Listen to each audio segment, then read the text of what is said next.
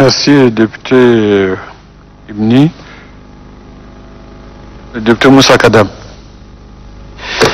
Euh, je crois que l'Assemblée nationale euh, ne s'est pas trompée en, fédérant les trois questions orales posées à un seul ministre par trois de nos collègues, dont nous étions pressés de savoir un peu plus sur ce que fait notre gouvernement par rapport à la pandémie du coronavirus. Il faut reconnaître que, Monsieur le ministre, ce qui a marché jusqu'ici, c'est la sensibilisation. Tout le monde s'y est mis, les officiels comme euh, euh, les personnes euh, individuelles, les associations, les journalistes. Mais force de constater que dans le cadre du respect des mesures barrières, avec un peuple indiscipliné, je voudrais juste dire que l'état d'urgence sanitaire décrété, tout comme le couvre-feu, n'ont qu'un impact dérisoire par rapport au mouvement désordonné des, des, des, des, populations au quotidien. Parce que là, euh, on ne voit pas euh, actuellement qu'est-ce qui permet de mieux asseoir le respect de ces mesures, dans la mesure où tout le monde est... euh, dans- Alors, ailleurs, confinement, ça veut dire que tout le monde est- est- est- est dans la maison. Ici, on pense que mettre en quarantaine, comme on a mis les étudiants, c'est ça le confinement. Non. En fait, au Tchad, on a mis beaucoup plus les gens en quarantaine, mais le peuple, lui, il n'est ni, confiné, ni autorisé à vaquer normalement. Et c'est en cela que, euh, quand le député Kebzavo pose un certain nombre de, de questions sur des mesures euh, euh, économiques, par exemple, mais on sait qu'une quincaillerie ouverte, il n'y a, pas rien du monde dans une quincaillerie. Le monde ne se rue pas pour entrer dans une quincaillerie. C'est un client toutes les deux heures, toutes les trois heures, etc. Le gouvernement aurait pu recenser toutes ces activités qui ne- n'agglutinent pas le monde et les permettent quand même euh, de- Sinon, là, là, au contraire, on a, on, a créé des surenchères. Les gens sont là devant leur boutique, vous passez, ils vous paraissent très intéressés, te donnent chez nous. Wallahi dawar sima. Ogod li tarab, au tal li bade. Donc, la vie continue. Et je vous dis qu'aujourd'hui, cette situation ambiguë fait que, eh bien, vos- propos, contamination communautaire là, vous ne voyez pas que c'est, d'une portée euh, terrible. Mais oui. Moi, depuis que le ramadan a commencé là, j'ai un mal fou pour voir comment je dois m'organiser pour le fatour. Puisque nous sommes 40-50 à la maison. N'est-ce pas?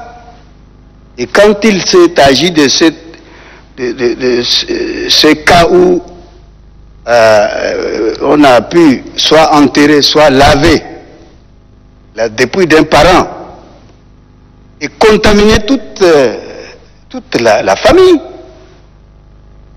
Alors, imaginez en, en- en prenant cette bouillie-là, chacun plongeant sa louche avec chacun, etc. Mais qu'est-ce- au jour d'aujourd'hui, monsieur le ministre, qu'est-ce qu'on doit faire? Puisqu'en lavant les, les- les- les- cadavres, on, se contamine. Et puisqu'il n'y a pas la distanciation sociale là, en, en- en prenant le fatour, qu'est-ce qu'on fait? Et puis moi maintenant, je suis, je, suis, je suis perplexe. Quand vous dites, n'allez pas dans les cliniques privées, c'est la même question que j'ai posée le, 16, euh, le, le 7 avril.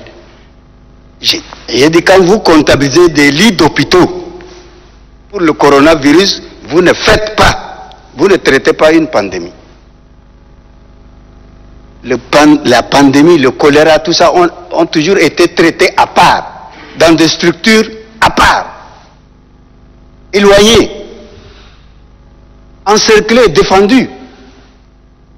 Mais si vous libérez des lits dans tel ou tel hôpital, mais la zone où vous traitez euh, le machin, mais justement ces interactions-là sont, là. Donc, et puis, vos cliniques ne sont pas outillées pour tester si quelqu'un vient là pour, pré- euh, pour se plaindre d'un palu ou s'il a atteint. À ce niveau-là, qu'est-ce qu'on fait, monsieur le ministre? Qu'est-ce qu'on fait? Vous dites, n'allez pas dans les... Venez à Farcha. Et dans ce cas, il vaut mieux dire tout simplement que tous les cas sont symptomatiques du coronavirus. Dans ce cas, les cliniques privées, tout le monde est outillé pour traiter. Mais sinon, là, on est, on, est vraiment dans des problèmes. On est dans des problèmes. Oui, effectivement. Comme l'a expliqué le président du comité scientifique.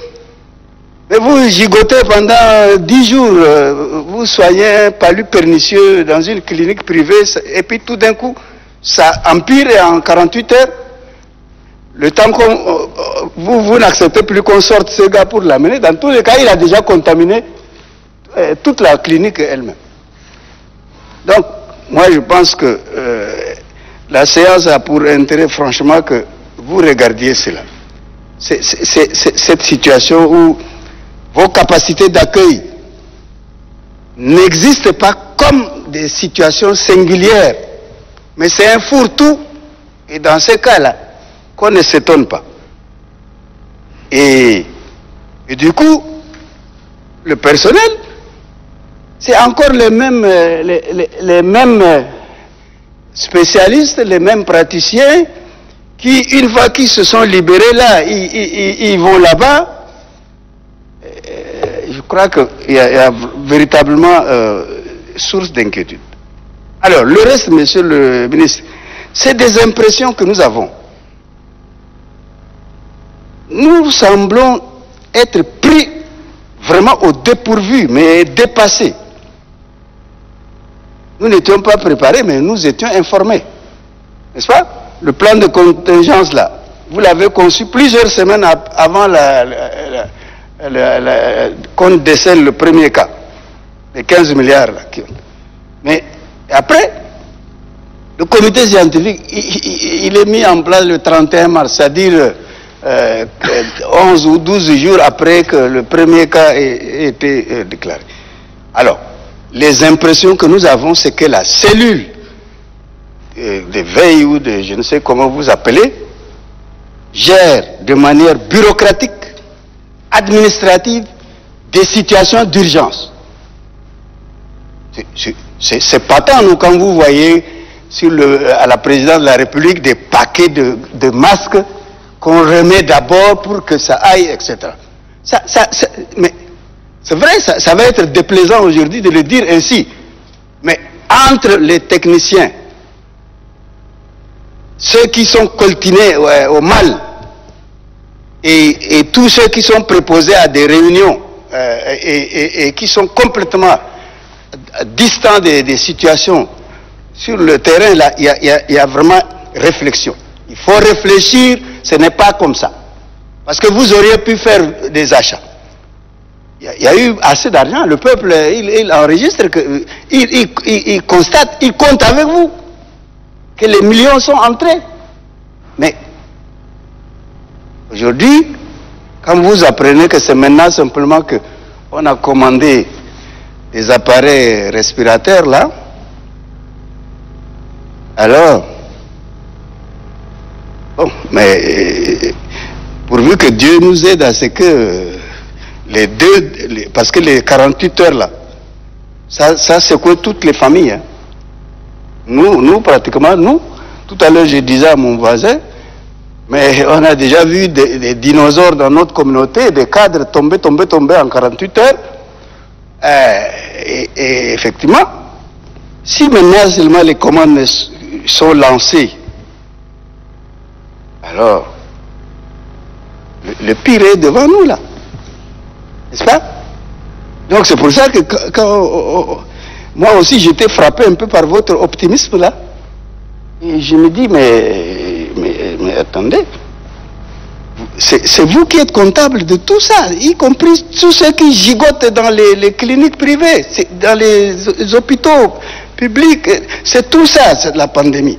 Donc, s'il n'y a pas, ou si comme le suggère notre collègue, si vous, euh, ailleurs, les gens construisent des hôpitaux à, la va-vite en 10 jours, etc. Et comme le suggère le collègue, si vous, euh, si on vous met à votre disposition ces grandes tentes, ou 200, 300 lits, encore faudra-t-il qu'il y ait les équipements. Or, ce n'est pas le cas. Donc aujourd'hui, euh, nous sommes vraiment euh, plus que perplexes. Et je voudrais euh, parler de... Parce que moi, quand j'ai entendu protocole, je pensais que c'était sur le plan de la thérapie. Hein? Avec quoi soigne-t-on cette maladie-là et, et qu'est-ce qu'on combine quoi Or là, nous aussi, nous sommes englués dans la controverse euh, internationale, la guerre des, laboratoires pharmaceutiques. Hein? Pas chloroquine, chloroquine, d'accord, etc.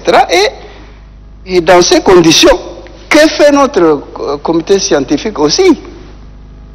Euh, Je vous rattrape à la faveur de- des deux questions posées par mes collègues. J'ai noté que par votre, circulaire 671 du 16 octobre 2019, vous aviez interdit la promotion, la vulgarisation, la vente et l'utilisation de l'artémisia. Et à défaut, monsieur le ministre, d'accéder aux médicaments modernes, parce qu'on l'a vu euh, quand on a parlé chloroquine, moi je me suis amusé à avoir une boîte de chloroquine de 100 comprimés, je l'ai eu depuis l'AI. Vous voyez? Et bon, aujourd'hui on ne sait pas. Alors, à supposer que, et toujours grâce aux réseaux sociaux, vous entendez que les Tchadiens se mettent à leur euh, auto, au- au- auto-soin par la pharmacopée traditionnelle. Artémisia, garat, chi, baki, lentilles, gingembre, citron. C'est tout ça là qui, qui est en train de circuler en ce moment. Oh, il suffit de pre- prendre ça, etc. Et puis, bon, euh, moi, j'ai expérimenté ça. Euh, Il y, a une femme camerounaise qui m'a transmis ça. J'ai essayé, je suis guéri, etc. C'est tous ces, ces messages audio qu'on entend tous les jours. Donc, c'est le ministre, tout en reconnaissant que vraiment la tâche n'est pas facile, que vous n'avez toujours pas tous les moyens à votre disposition à l'instant T. Parce que si vous mettez deux mois pour qu'un marché puisse avoir tous les visas, et que, etc., eh bien, euh, que Dieu nous sauve. Je termine, Monsieur le Président, avec euh, euh, le vaccin. Aujourd'hui, euh, l'Europe, euh, euh, des grands de l'Europe, avec quelques chefs de fondations caritatives, là, des grands films, planchent sur comment réunir les fonds pour avoir un vaccin. Le Tchad est dans quel, euh, dans quel, euh, dans quel parti pris? Dans la mesure où vous écoutez aussi, ah, Bill Gates veut faire un vaccin, n'acceptez pas qu'on vienne vous inoculer ça, c'est pour décimer les Africains, etc. Donc, Monsieur le Président, on aurait passé toute la journée avec ces questions, mais euh, franchement, ça fait, ça fait peur. hein, ça fait peur et euh, je crois que euh, le ministre en sortant d'ici doit continuer à pouvoir imaginer comment réprimer notre indiscipline, parce que nous sommes en train de nous faire harakiri, et, ça, euh, je pense que, euh, oui, beaucoup de gens ne, croient peut-être pas, euh, mais depuis 48 heures, ça a dû changer je crois. Mais il faut continuer à ce que les gens fassent attention, et puis bon, dans tous les cas, l'Assemblée a commencé à faire son, son travail à son niveau. Je pense que le format dans lequel nous travaillons aujourd'hui euh, peut permettre d'aider euh, à ce que les gens comprennent. Mais ça boue encore. Et N'Djamena, franchement, risque de, de sortir le virus et l'amener dans, dans, nos provinces si on n'y prend pas garde. Je vous remercie. Merci le député Moussa le député Ali Kouloutou Chaimi. Merci, Monsieur le Président, euh, de m'avoir donné la parole. Je voudrais tout d'abord remercier nos collègues qui nous ont permis d'être là ce matin, euh, interpeller les ministres, discuter, échanger. Euh, Monsieur le Président, euh, avant de poser mes petites questions qui sont restées de mes collègues qui m'ont précédé, profiter de ce micro pour remercier sincèrement son Excellence M. Idriss Déby, le président de la République, chef de l'État, et son gouvernement qui ont pris des mesures adéquates pour lutter contre la propagation de, coronavirus. Monsieur le ministre, euh, mes collègues, surtout un deux collègues qui, qui vous ont reproché que vous, vous êtes vraiment optimiste. Vous trouvez que tout est blanc, tout est rose, mais il faut reconnaître que nous, nous, on représente les populations, nous vous suivons tout ce qui se passe. C'est vrai que vous avez, le gouvernement a fait des efforts énormes dans ce sens. Nous félicitons, nous remercions, mais il ne faut pas dire que tout est beau. Il ne faut pas dire que tout est beau. Il faut reconnaître, il faut reconnaître toujours ces insuffisances. Euh, toutes mes questions, euh, la plupart étaient prises en compte. Monsieur le ministre, euh, nous avons un problème d'indiscipline. Vous avez pris des arrêtés, vous avez fait des communiqués, mais les attroupements, les places mortières, les azumans et tout ce qui suit persiste encore.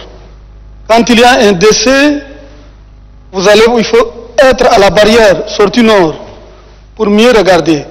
Sortie sud, pour mieux regarder. Quand il y a un cas de décès, toute une chaîne de véhicules suit dizaines, voire même des centaines de véhicules encore, suit la dépit mortelle. Et ça, vous avez pris euh, d'une manière théorique de- des mesures, mais les mesures sur le plan pratique ne sont pas appliquées. Il faut se mettre avec euh, votre collègue de la sécurité et de la défense, prendre des mesures fortes, il faut formellement interdire. Ce que nous, représentants du peuple, nous souhaitons. Monsieur le ministre, euh, l'hôpital de, de Farcha, malgré que vous avez donné des explications très techniques, convaincantes, mais nous aussi, on a la possibilité de mettre, faire un clé là-bas. Oui, les salles sont nombreuses. Il y a disponibilité de salles, mais quelles sont les conditions? Est-ce que les salles sont bien appropriées pour accueillir les malades? Est-ce que les climatiseurs sont disponibles? C'est important. Monsieur le ministre, vous n'a- vous n'avez pas évoqué le cas de, des personnes qui sont euh, infectées, qui sont euh, malades de Covid, qui sont déjà guéries. Est-ce que la maladie peut encore les rattraper? Vous n'avez pas expliqué. Monsieur le ministre, euh, vous avez, dans vos explications, vous m'avez apporté encore beaucoup plus d'inquiétude. Quelle est cette inquiétude Vous avez autorisé aux différents hôpitaux d'ouvrir des ailes pour accueillir les malades de Covid. Vous avez d'un côté les malades ordinaires, de l'autre côté les malades qui sont atteints de Covid. Les mêmes médecins, les mêmes infirmiers, les mêmes personnels soignants s'occupent des deux malades. Est-ce que vous, vous n'encouragez pas, au contraire, la propagation de, Covid? Monsieur le ministre, euh, nous avons euh, le comité ou bien la cellule, euh, la cellule de veille et de sécurité sanitaire. Nous avons de notre côté le ministère. Plus loin, au fond du village, nous avons les, comités provinciaux ou bien des provinciaux qui sont chapeautés par le gouverneur. Quel est l'interlocuteur de ces comités provinciaux? C'est la, la cellule de, de veille ou le ministère? Dernièrement, ce qui m'a interpellé euh, l'esprit, c'est, d'avoir une préoccupation. Dans une des régions que je ne veux pas citer le nom, le ministère a envoyé euh, une dotation régulière normale à la délégation sanitaire. Les médias ont relayé que c'est des, dons, des dons. Quand entre le ministère et la délégation, pour moi, c'est une dotation normale. Ou bien c'est un don d'une ONG, ou bien c'est le ministère qui a doté un don. Monsieur le ministre, euh, euh, moi je n'ai pas encore appelé les 13-13. Mais les concitoyens euh, partout en Djamena disent que les 13-13, quand on les appelle, d'abord ils ne viennent pas et euh, ils ne répondent pas. Est-ce que les 13-13 n'a pas un personnel disponible pour répondre aux malades?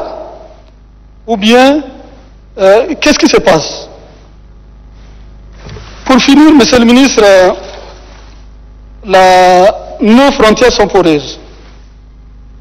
Nous avons vérifié, c'est avec, après vérification, après investigation, je vous dis une chose. Les frontières, surtout par Ngeli, et par Cameroun, je ne vais pas citer tout au long de la frontière, des villages, mais nos concitoyens, les, les- étudiants et autres, en complicité avec euh, les, les services de sécurité ou les autorités en place, font leur entrée à Djamena. Nous, on est députés. Moi, principalement, qui vous parle, je suis président de votre majorité qui vous suit, mais certaines pratiques sont impardonnables. Nous, on vous soutient, mais il faut prendre toutes les dispositions qui s'imposent.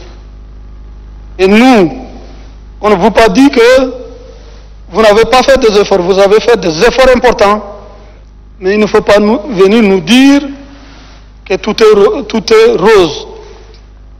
Il y a des insuffisances, il faut régler.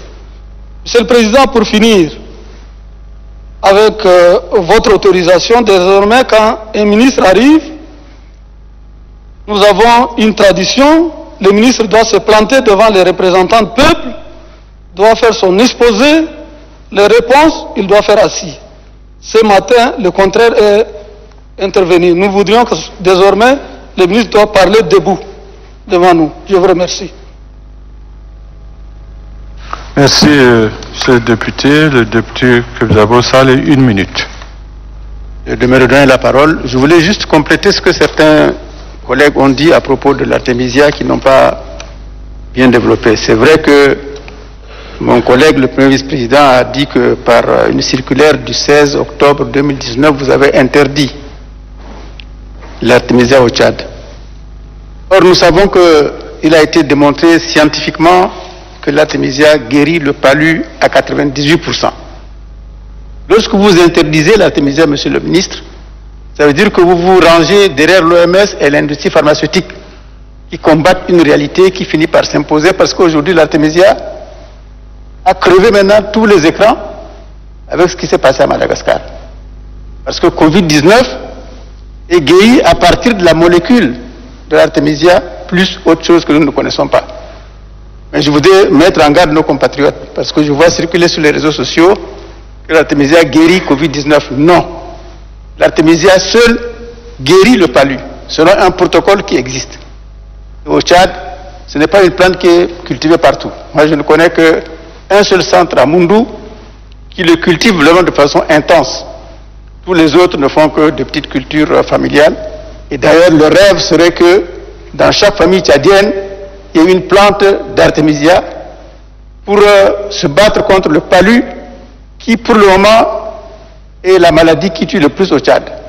Et donc, Monsieur le ministre, est-ce que vous allez continuer à combattre l'artémisia ou bien est-ce que vous allez vous mettre dans l'air du temps pour, comme d'autres pays africains, prendre le train en marche et se dire qu'il y a quelque chose qui guérit le Covid-19, c'est l'artémisia organix qui est mis au point par Madagascar.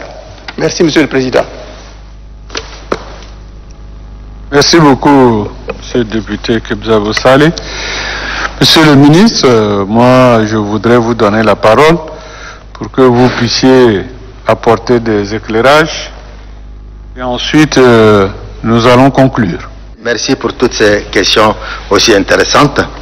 Euh, oui, euh, prochainement, je me mettrai devant vous parce qu'elle m'a été proposée et j'ai pensé qu'il y a possibilité de s'asseoir, il y a possibilité de se mettre devant vous. Et prochainement, Inch'Allah, je me mettrai devant vous si je serai avec vous. Cela n'arrivera plus. Prochainement, on va vous demander de venir. C'est moi qui ai fait l'erreur. Oui, oui euh, je commence par euh, les- la dernière question et puis je remonte.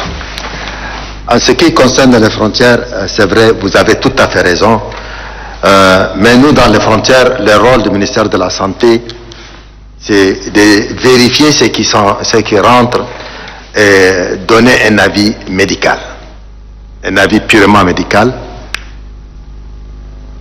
Pour la frontière, il faut avoir de gros moyens. Et l'État a mis les gros moyens. Ils ont mis les gros moyens. Et c'est comme ça que nous sommes arrivés à confiner les uns et les autres dans les centres, qu'on puisse au moins dire quelque chose. Et le travail continue, le travail continue.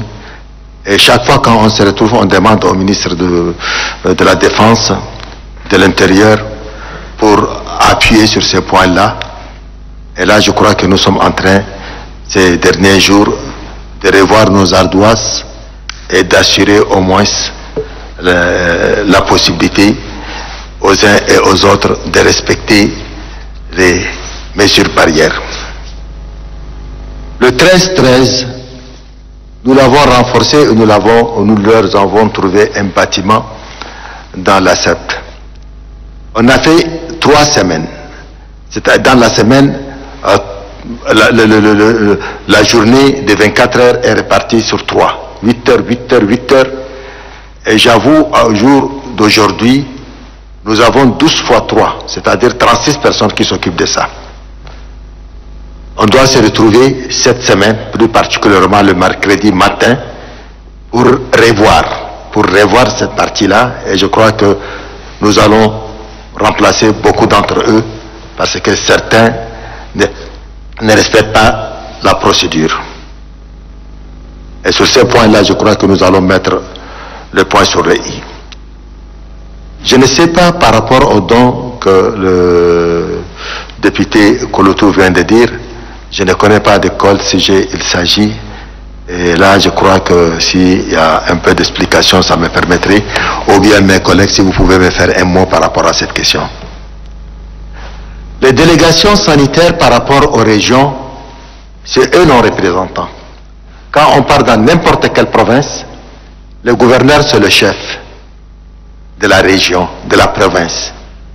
Mais le délégué sanitaire, c'est celui qui doit s'occuper de tout ce qui se passe de la santé de la population. Tout ce qui est santé de la population est celui qui nous communique tout ce qui se passe au fond. S'il y a des euh, gens qui traversent la frontière et qui rentrent, les délégués nous informent du côté de leur santé et qu'est-ce qu'il faut faire et qu'est-ce qu'il doit euh, qu'est-ce qu'il veut. Et sur ces points-là, nous travaillons avec lui. Donc c'est le délégué qui est notre représentant. Sur euh, le sirop euh, fait par Madagascar qui guérit l'artémi- l'artémisia, Le conseil scientifique a donné son accord et nous sommes en relation avec nos collègues. Le, conseil scientifique du Tchad est en relation directe avec les conseils scientifiques de certains pays comme le Sénégal, comme le Cameroun et puis ainsi de suite. Donc euh, nous avons opté pour au moins euh, informer les plus hautes autorités par écrit. Aujourd'hui même, on va déposer pour demander cette commande. C'est vrai, nous nous sommes pris un peu tard, mais nous avons continué à réfléchir et nous avons accepté, comme tous nos amis, nos partenaires, nos co-régions ont accepté, nous aussi, nous acceptons et nous connaissons bien Artemisia. Maintenant, on revient sur Artemisia. Guérit-elle le palu ou guérit-elle autre chose? Le palu, non. En tant qu'une seule, euh, plus particulièrement quand on veut guérir le palu, on a essayé Artemisia un temps donné. Comme on a essayé la nivaquine un temps donné? Ça guérissait la nivaquine un temps donné. Mais maintenant, il faut absolument deux molécules.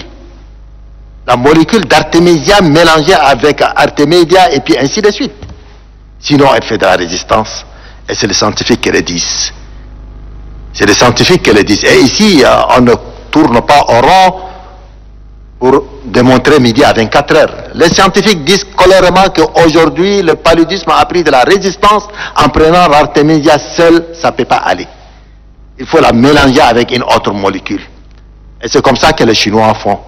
Les Chinois, ils la prennent avec Artemisia, avec, avec Artemedia, avec autre chose, et puis ainsi de suite, ainsi de suite, ainsi de suite.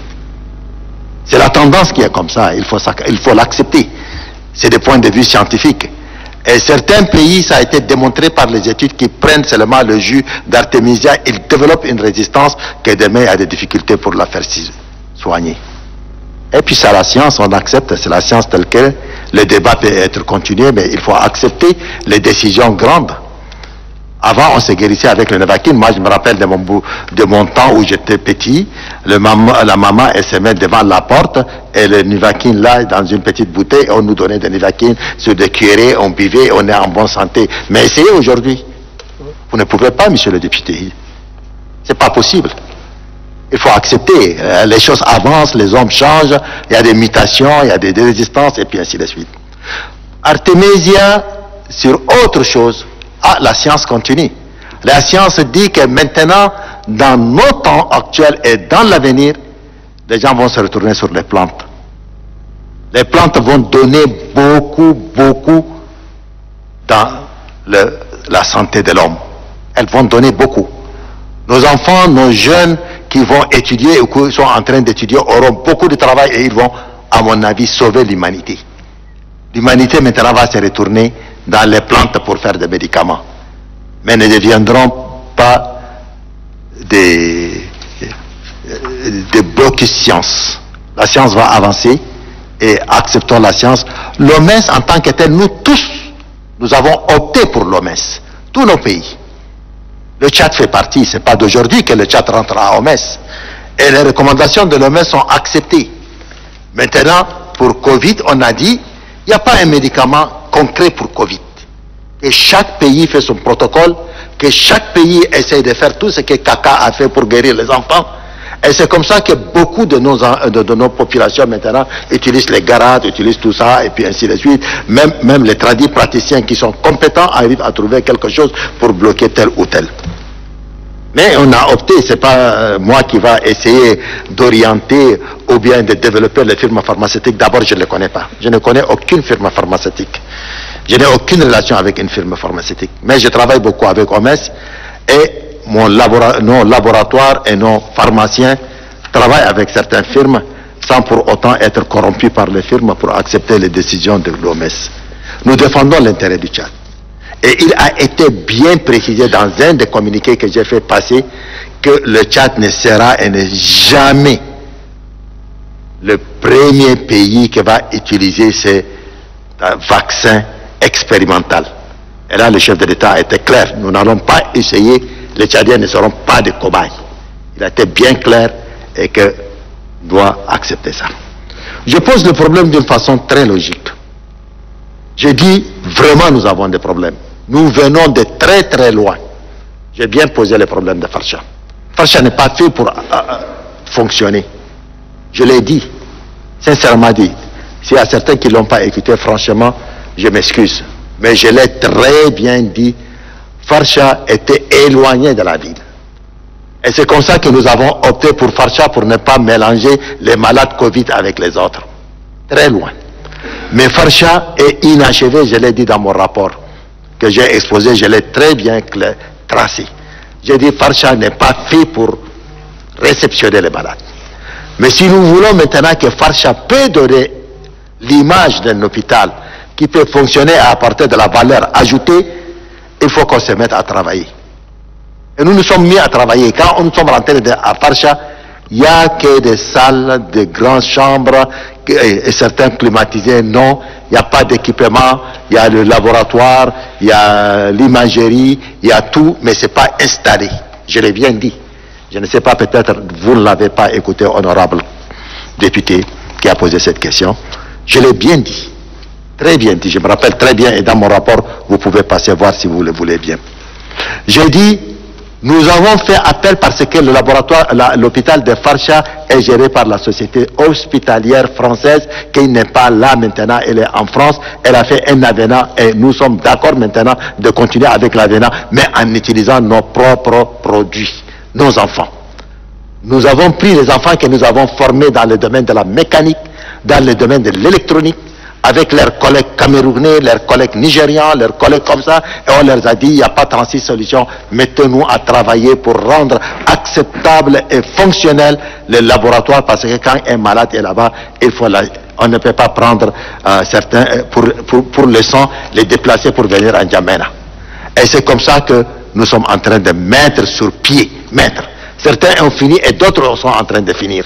Le laboratoire, l'imagerie, la penderie pour laver les équipements, habillements. Euh, la morgue, la morgue. Nous sommes en train de travailler pour mettre le bloc opératoire. C'est pas fini. Nous sommes en train de travailler. Nous avons commencé.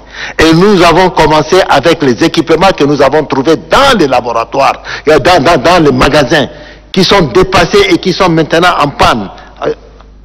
Nous les avons détectés, nous les avons enlevés, nous les avons réformés, nous les avons remis, euh, réparés.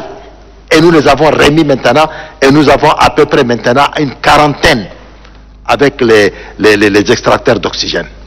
Nous n'avons pas attendu, parce que l'aéroport est fermé. Et le Tchad s'est préparé parce que le premier pays dans la sous-région a dit non, arrêtons que les avions ne viennent. Si on a laissé les, frontières euh, aériennes ouvertes, je ne sais pas depuis quand nous serons dépassés. Et là, c'est Farcha. Je n'ai pas du tout commenté, je n'ai pas été aussi optimiste. Je dis non.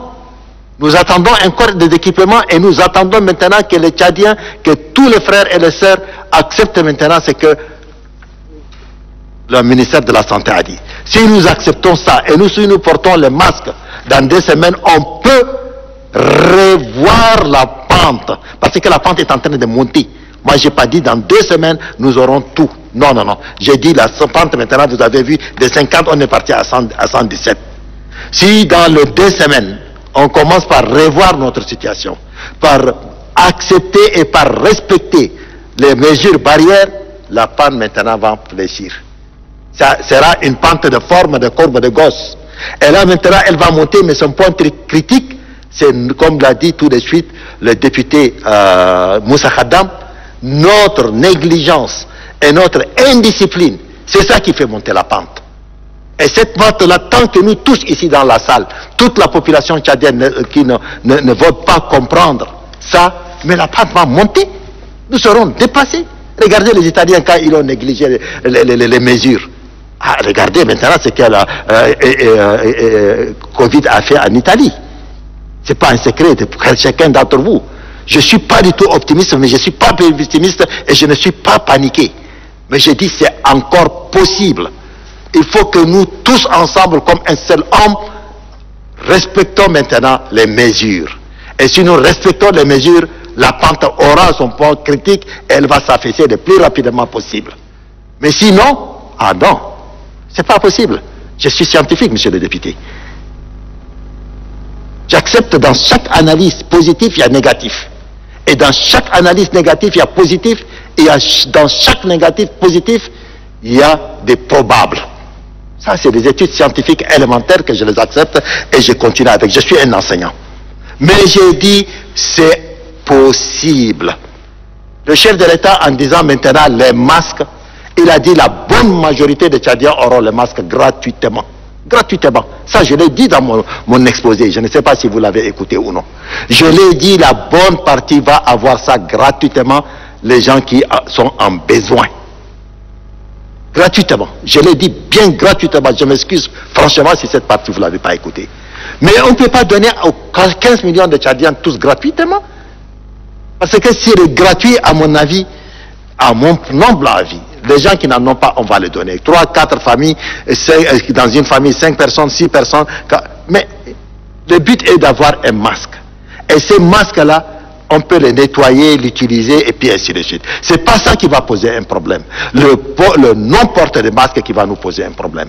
Si nous portons tous les masques et nous respectons, dans deux semaines, la courbe va au moins s'affaisser ou l'évolution de la courbe, c'est ce que je dis. Je répète pour que franchement les gens me comprennent bien. Ah, je ne suis pas Dieu pour dire dans deux semaines, ah, ah, nous allons maintenant avoir des roses. Non, loin de là. C'est au moment où nous tous on comprendra qu'on va avoir des roses. Au moment où que chaque voisin rentre chez le voisin, où la voisine dit, hé, la voisine, ça là, c'est un problème. Si vous ne faites pas attention là, les quartiers comme ça, je suis très content quand vous me dites maintenant, il faut maintenant dire dans telle ville, dans tel quartier, dans tel arrondissement. Si vous voulez que je dise le nom aussi, je le dis. Mais le conseil scientifique me dit, ah, vous n'avez pas le droit d'indexer les quartiers, vous n'avez pas et vous n'avez pas. Mais vous êtes le représentant du peuple, si vous me dites de dire même le nom, je le dirai. Je suis à votre service, je suis comme ministre de la Santé, et le ministre de la Santé doit répondre aux vœux de la population, aux vœux du peuple. Ça, c'est une chose. Donc, la chose la plus importante, c'est que nous tous ensemble, ici dans cette salle, en écoutant les uns et les autres, nous tous ensemble, nous sommes dans la même voie. Faisons attention, cette maladie-là, elle nous tue. Cette maladie-là, elle n'est pas à caresser dans le sens du poil. Chacun de vous qui a pris la parole ici m'a soutenu dans disant eh, monsieur le ministre, ici, là, vous ne faites pas assez dans la communication, dans la sensibilisation. Je suis tout à fait d'accord. Nous avons commencé. Mais après, c'est pas facile.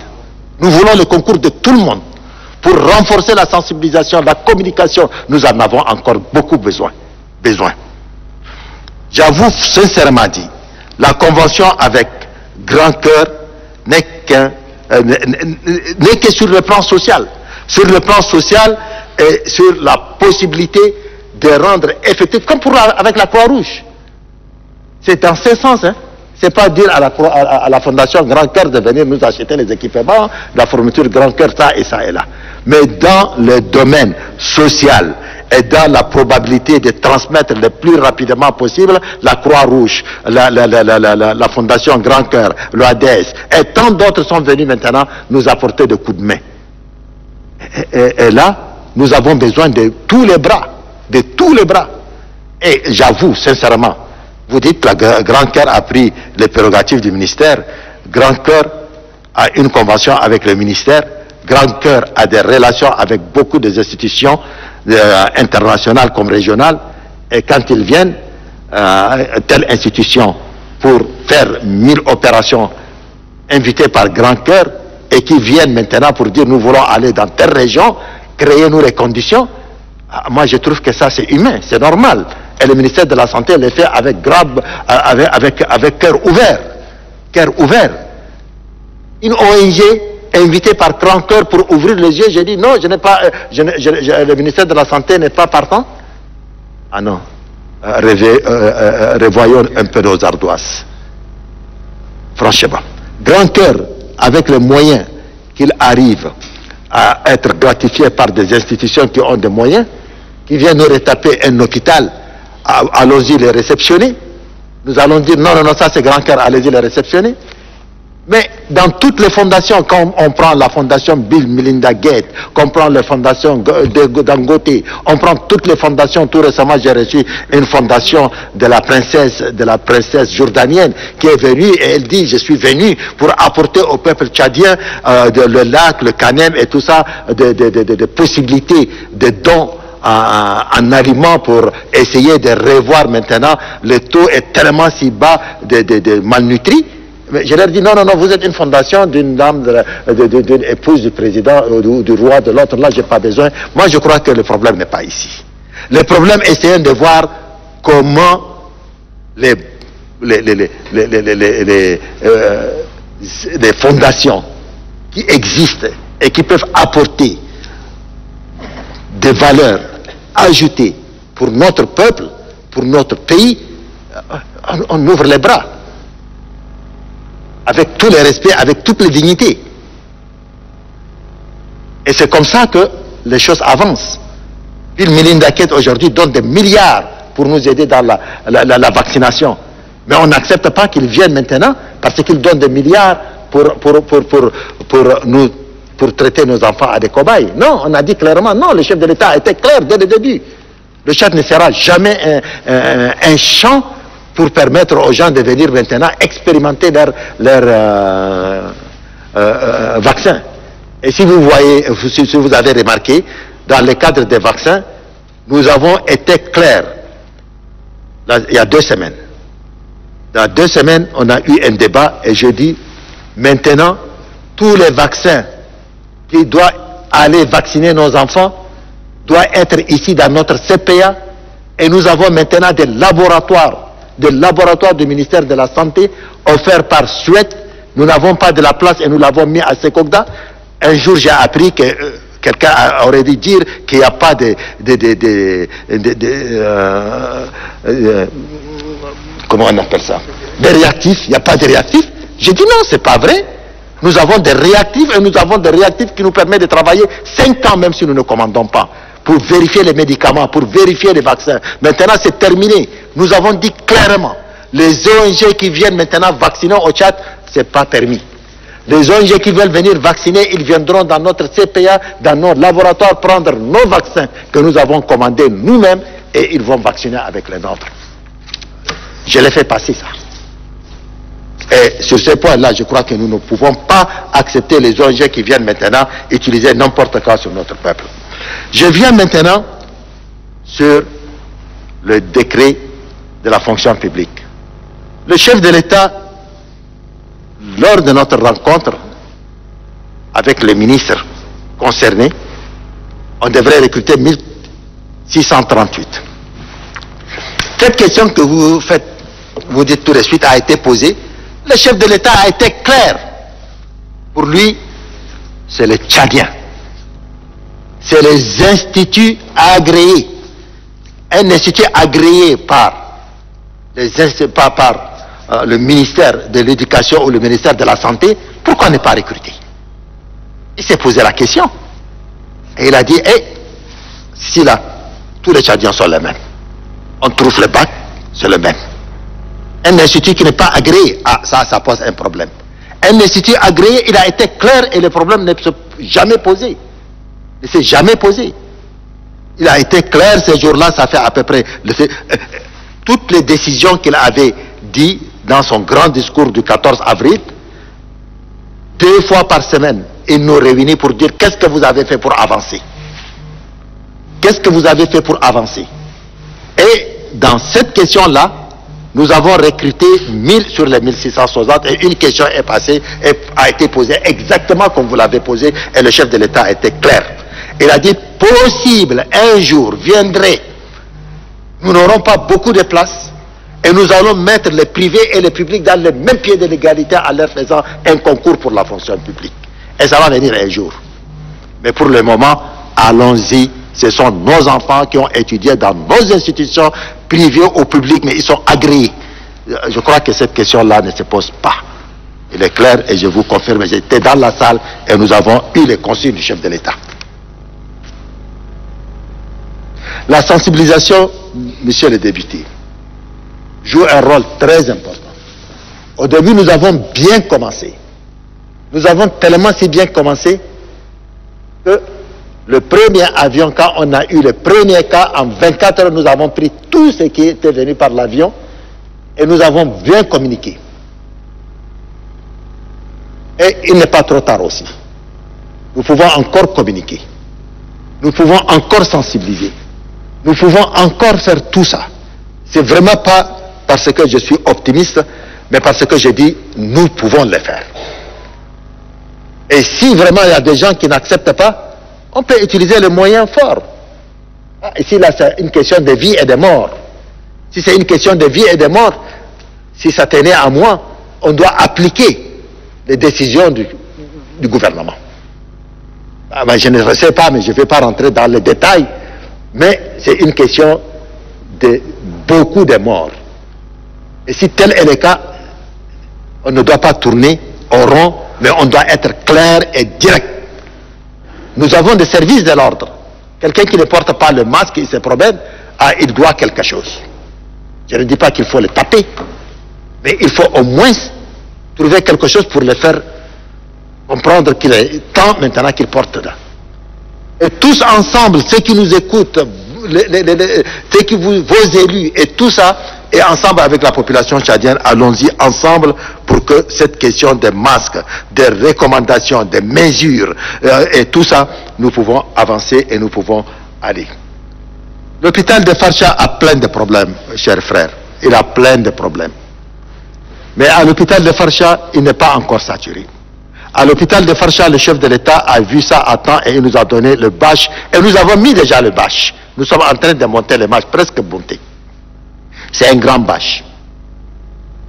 Et nous sommes en train de voir comment faire pour que nous ne serons pas saturés. Et c'est maintenant qu'il faut voir. Donc le bâche sera fini. Ça a été installé il y a déjà une semaine. Il y a 15 bâches qui ont été installées par le croix, par, par, par, par, par, euh, par la Croix-Rouge. Et ce qui est bon en tout ça, nous avons commandé aussi des hôpitaux mobiles.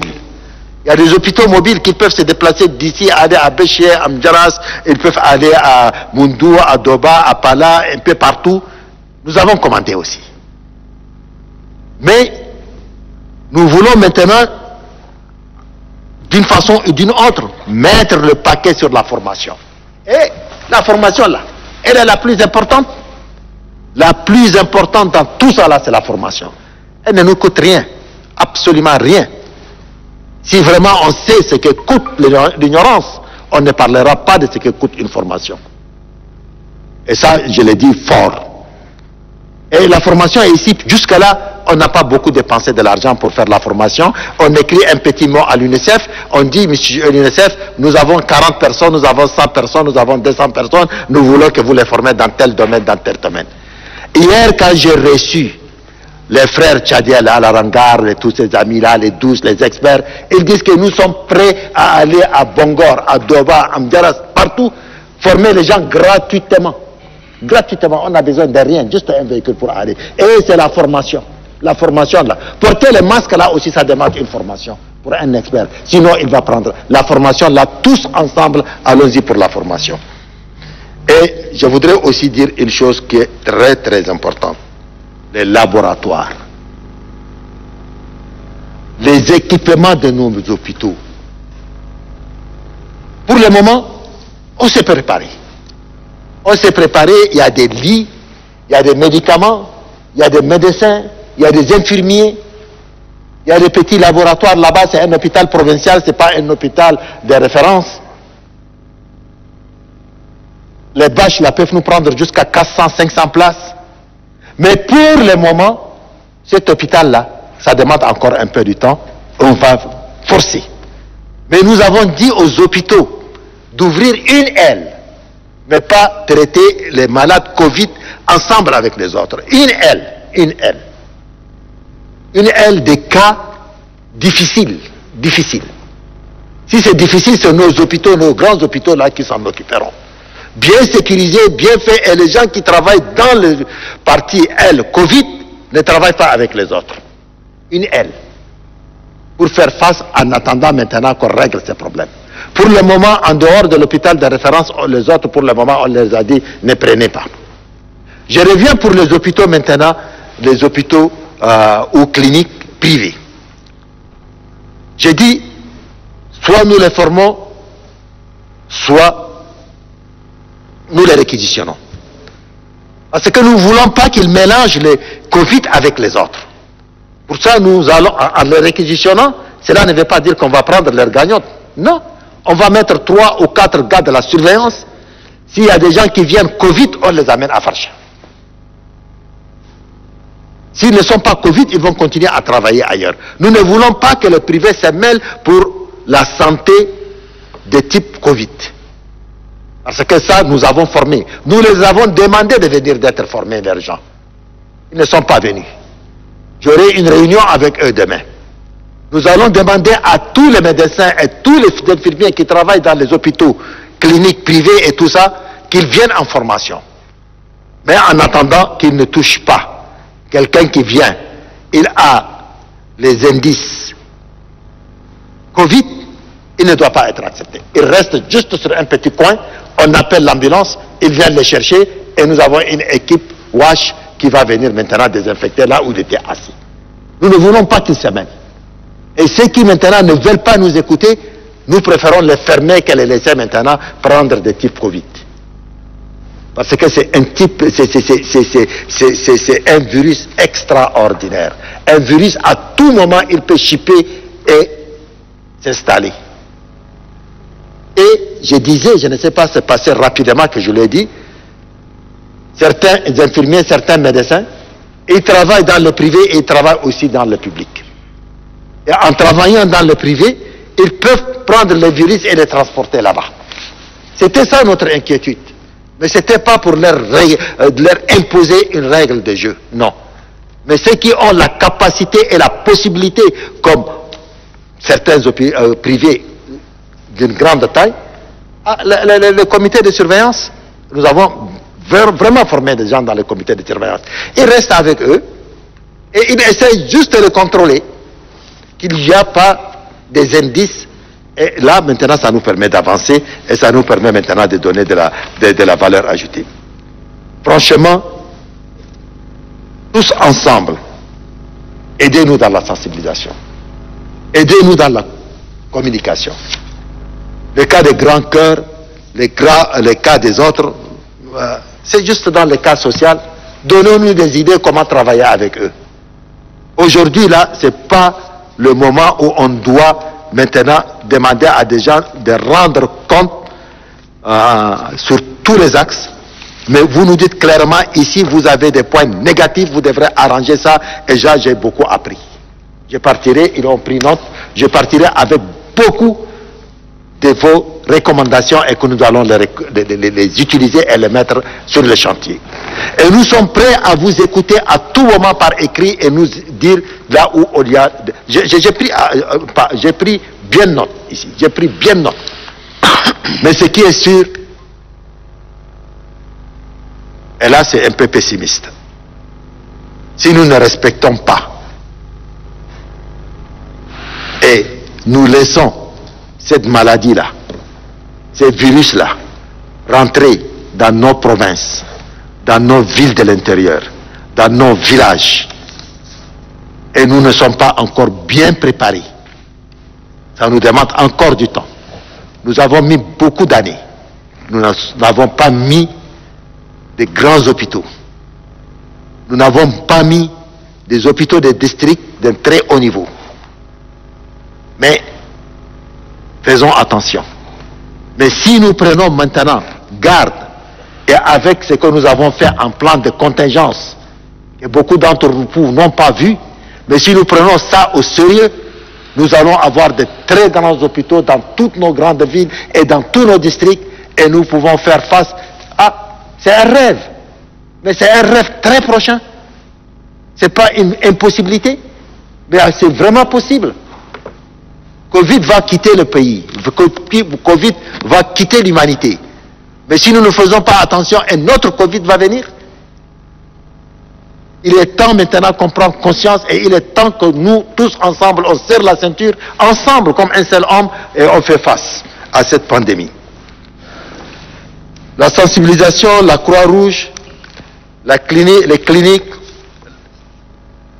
c'est vraiment notre côté faible, communication. Le grand cœur, au jour d'aujourd'hui, il est le premier à venir nous donner 1 152 000 masques. N'eût été ça, beaucoup d'entre nous, de non, non, non, non, non, non, je l'ai dit, franchement, avec fierté, ils ont sauvé au bon moment les cadres de la santé. Imaginez, seulement je vais vous donner un exemple.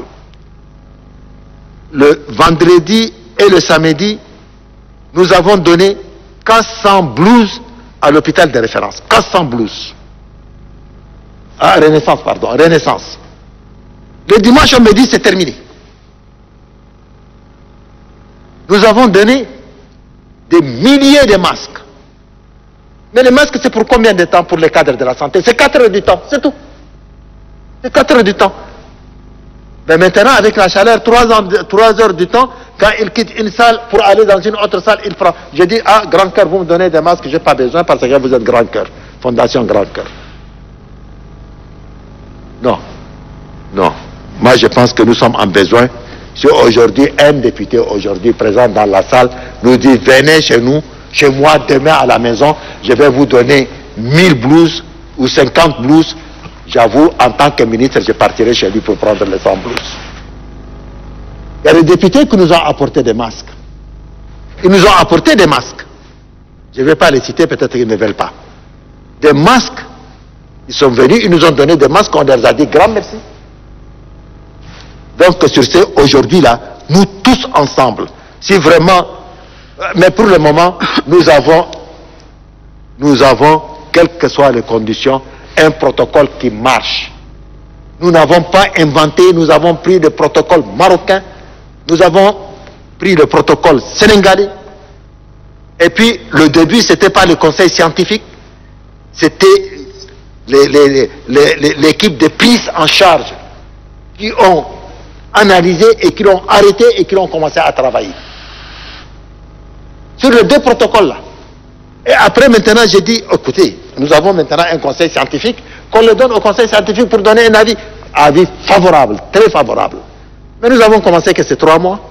Trois mois n'est pas suffisant maintenant pour dire, écoutez, c'est déjà scellé, cacheté. Le monde est en train d'avancer. La science est en train de réfléchir. Et demain, le conseil scientifique va nous dire, ah, dans ces protocoles-là, il y a quelque chose. ah, le protocole a déjà donné son accord. Hier, j'ai reçu, ah, le samedi, non? Les, personnes de ressources sont venues me dire, ah, le protocole-là est tellement si bon, mais ces protocoles-là, nous voulons maintenant les revoir pour les personnes de tel âge à tel âge, on doit maintenant les remoduler. Et pour les personnes de tel âge à tel âge, on doit fixer ça. Moi, dit, ah, mais c'est la, meilleure des choses. Aujourd'hui, vous êtes expérimenté. Vous avez déjà 70 ans, 80 ans, vous travaillez dans ce sens. Je leur ai donné le feu vert. Je les ai donné le feu vert, avec un rapport. Ils m'ont fait un rapport, un rapport très intéressant. Ils m'ont dit, nous voulons maintenant, parce que quand on prend la chloroquine, les gens viennent avec des maladies euh, qu'ils traînent dans toute leur vie, des maladies comme la, la, tension et tout ça. Nous voulons te faire maintenant un travail plus affiné. Je voudrais dire non. On va maintenant seulement utiliser le protocole donné par, par le conseil scientifique? Non. Moi, je pense que euh, s'il y a des gens de bonne volonté qui peuvent nous apporter de bonnes euh, actions, c'est toujours ouvert. Ils sont en train de travailler gratuitement. Et je leur ai dit, ok, j'ai dit au docteur Alarangard, allez-y, travaillez. Et si vous voulez maintenant différencier avec... Et c'est comme ça que les choses avancent. Aujourd'hui, le conseil scientifique a accepté pour que l'échantillon malgache doit être ici. Et le, et DG vient de me dire qu'ils ont déjà fait la lettre qu'on doit envoyer à son excellence. Et je suis sûr que si le, et le chef, le, président de la République, dès que quelque chose vient du conseil scientifique, il le prend en compte tous les appareils que nous avons commandés, il faut que le conseil scientifique donne son accord. Et je vous confirme que tous les appareils, tout ce que nous achetons maintenant est hors taxe et prix fabricant. Parce que nous passons par les affaires étrangères des pays. Et si nous passons par les affaires étrangères des pays, il n'y a pas de bénéfice. C'est une forme d'entraide, c'est une forme de collaboration entre les pays. Il y a des pays amis, mais à un nombre bien défini. Nous avons demandé 200, la France nous dit, elle peut nous le faire pour nous pour 50, à prix fabricant. Pour 50, de 250, on va leur dire non, nous voulons ça. La chloroquine, nous avons commandé des médicaments de l'Inde maintenant. Mais en passant par des affaires étrangères, parce que maintenant la chloroquine, là, beaucoup de pays ne donnent pas. Et sur ces points-là, nous sommes en train de travailler, nous sommes en train de réfléchir.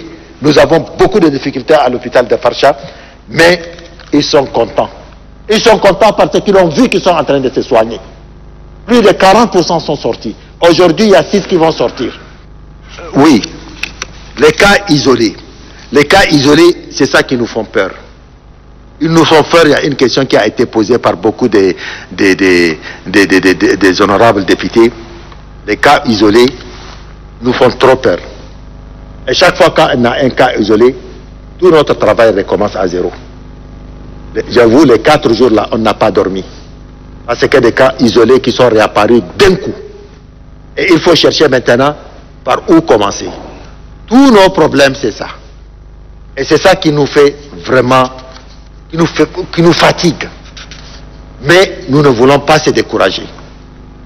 Les cas isolés, quelqu'un qui reste à la maison, qui meurt, on n'arrive même pas à les tester. Il y a quelqu'un maintenant qui est à qui, est déjà à, la morgue, on doit les tester demain. Et quand on les trouve positifs, il faut chercher maintenant par où ça sort. Et tout ça, vous avez poser cette question seulement pour N'Djamena. Tout ça, nous ne voulons pas que ça, avec les possibilités qu'on a, on n'a pas beaucoup des ambulances, on n'a pas, maintenant on est obligé maintenant de réquisitionner certaines voitures. Et tout ça, nous prions encore Dieu pour que les cas de Tchad soient allégés, pour que ça ne rentre pas. Nous avons formé des gens dans les provinces. Mais c'est aussi notre côté faible. Notre côté faible. Je vous remercie. S'il y a d'autres questions, j'arrive. Euh, merci beaucoup, Monsieur le ministre. Euh, on dit euh, gouverner, c'est prévoir. Lorsque le Covid-19 a commencé, le gouvernement a pris des dispositions pour sensibiliser la population tchadienne sur la, sur la dangerosité en fait, du, du virus. Mais comme toute chose, la plupart, je dirais beaucoup de Tchadiens ont cru quand même au virus. Mais il y a quand même des groupes euh, qui n'ont pas cru à ce virus. Et petit à petit, petit à petit, le mal a commencé à s'installer. Et aujourd'hui, on est dans une phase où c'est vrai, même s'il n'y a pas une infection vraiment pandémique encore, mais quand même, on assiste à une multiplication de décès dus quand même à la, au virus. Ça veut dire qu'en fait, cela commence à pénétrer la société. Les mesures barrières que le gouvernement a eu à prendre sont salutaires. Mais en même temps, beaucoup de nos concitoyens ne respectent pas ces mesures barrières. Vous savez, quand on fait une loi, on fait une loi et avec ces décrets d'application et des mesures de coercition lorsque les individus, les citoyens ne respectent pas la loi. Et donc, à mon avis, tant que le gouvernement ne mettra pas en place des équipes qui vont surveiller la mise en œuvre effective de ces mesures barrières et également le respect d'un certain nombre de mesures que vous avez prises dans vos arrêtés tant au niveau du ministère de la Santé que du ministère de l'Administration du Territoire et autres, je pense que les gens les personnes rebelles vont continuer à défier le gouvernement. Et donc vous avez intérêt à rapidement mettre en place des équipes de surveillance, des équipes qui, le moment venu, vont détecter les groupes rebelles, les personnes rebelles, et pour lesquelles ces équipes-là peuvent prendre des mesures immédiates. Sans quoi, je pense que ces gens-là vont continuer à ignorer et à faire propager en tout cas cette maladie.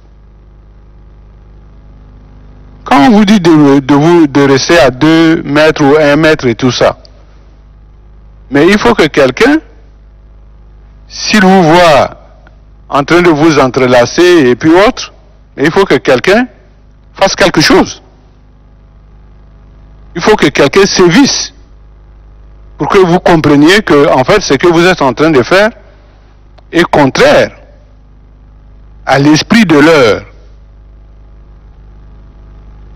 Parce qu'en réalité, c'est un peu ça. L'homme, c'est vrai que quand vous le laissez libre, c'est vrai, il y en a qui comprennent et qui réagissent promptement pour respecter les mesures. Et il y en a qui ne comprennent pas. Il y en a qui estiment que non, non, non, euh, vous me prenez ma liberté et puis tout ça. Mais ta liberté là dépend aussi de la liberté des autres et de la survie de, de, de, de la communauté. Et tant que ce n'est pas fait sous cet angle-là, je pense que vous aurez beaucoup de difficultés. Et comme vous l'avez dit, si vous laissez cela,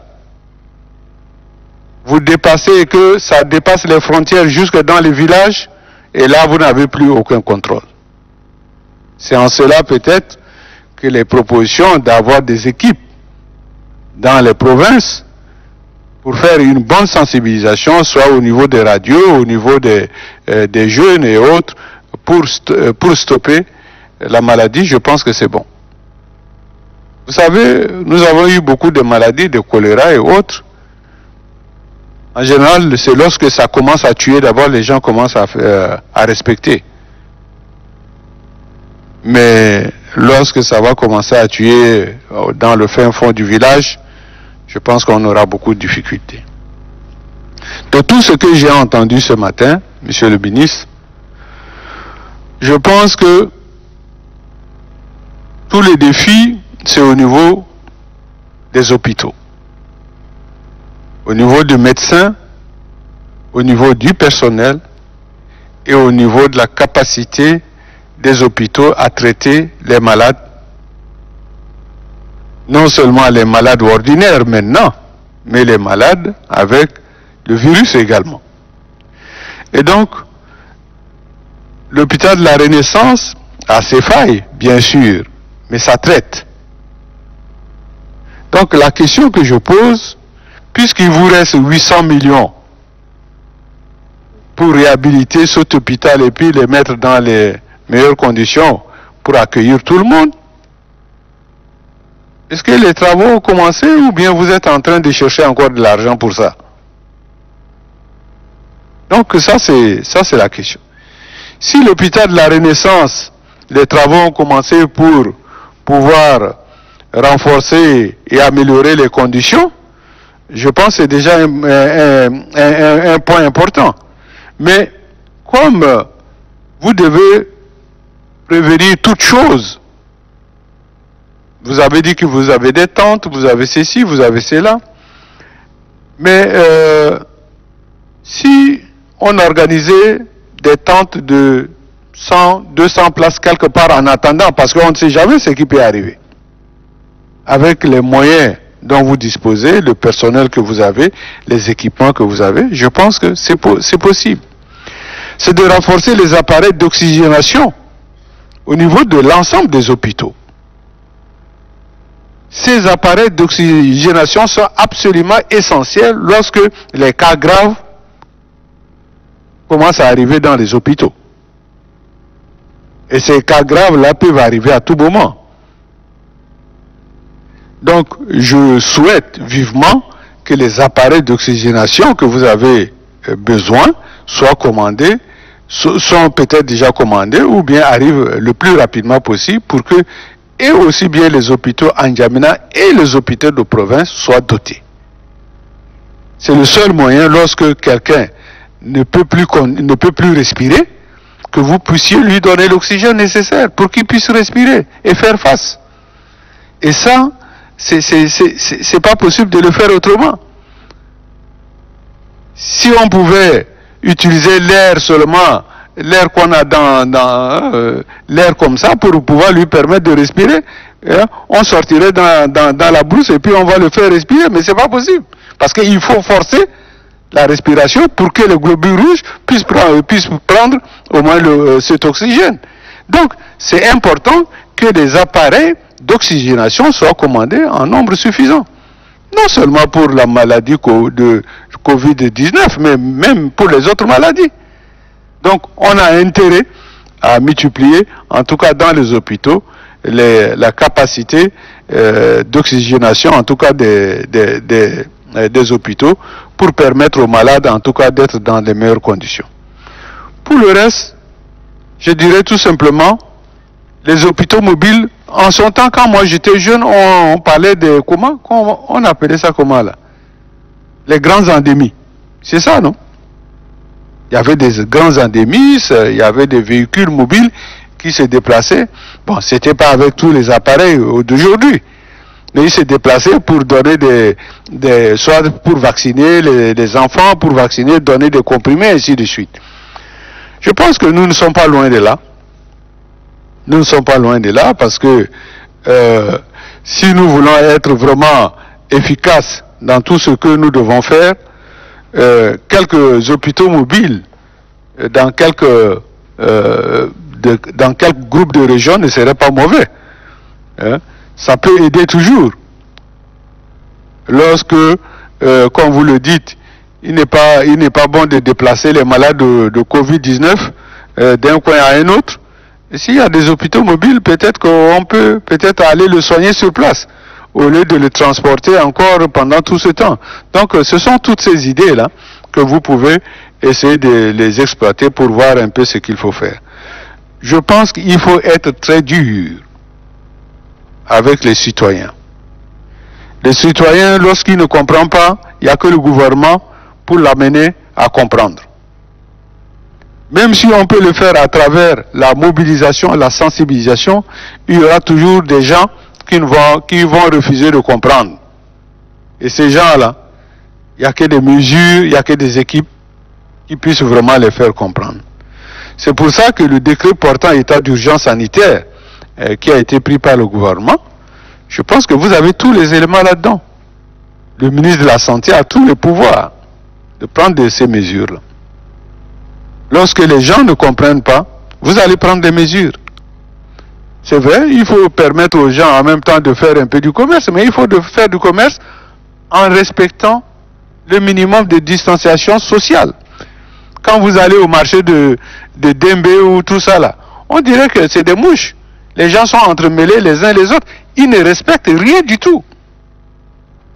Ils ne respectent absolument rien. C'est-à-dire, une seule personne peut contaminer, je ne sais pas, des, dizaines et des dizaines. Donc, euh, je pense que là également, au niveau du marché, il faut instruire la mairie.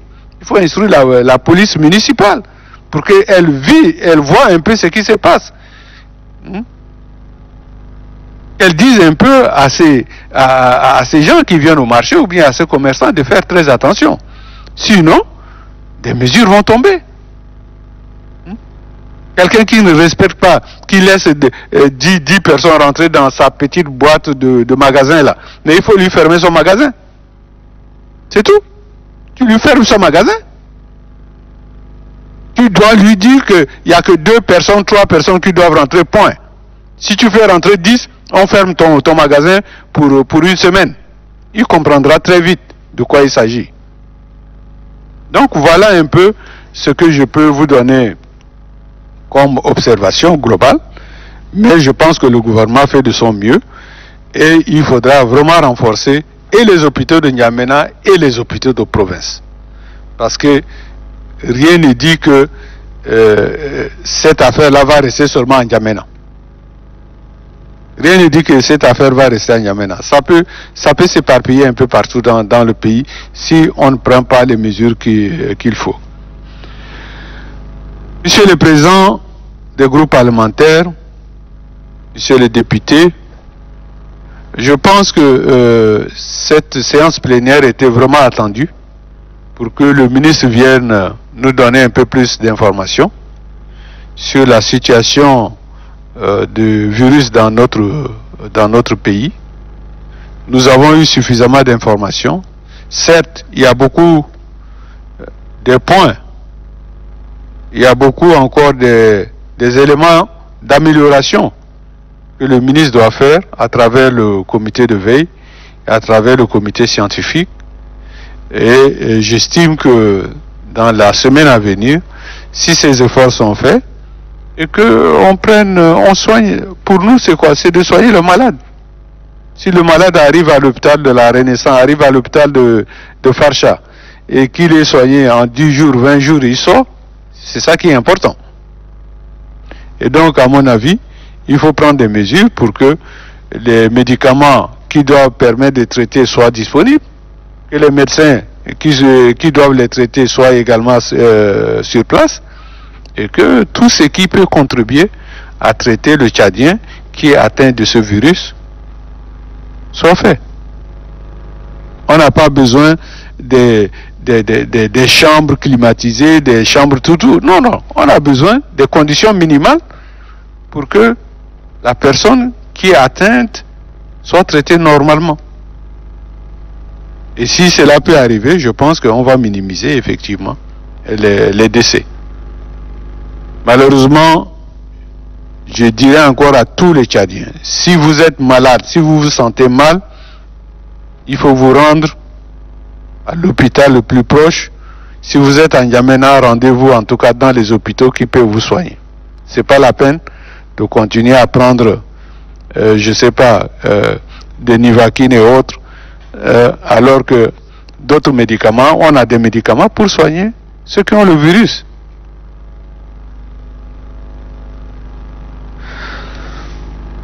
Monsieur le ministre, merci beaucoup d'être venu avec l'ensemble de tous vos collaborateurs.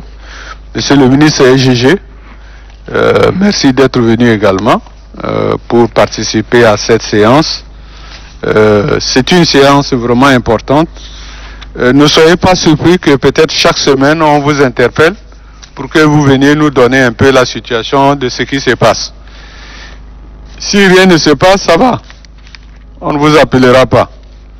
Mais si les choses vont dans le mauvais sens, vous serez obligé de venir nous donner un peu, euh, de nous faire le bilan de ce qui se passe, afin que les députés soient au même niveau d'information que vous-même.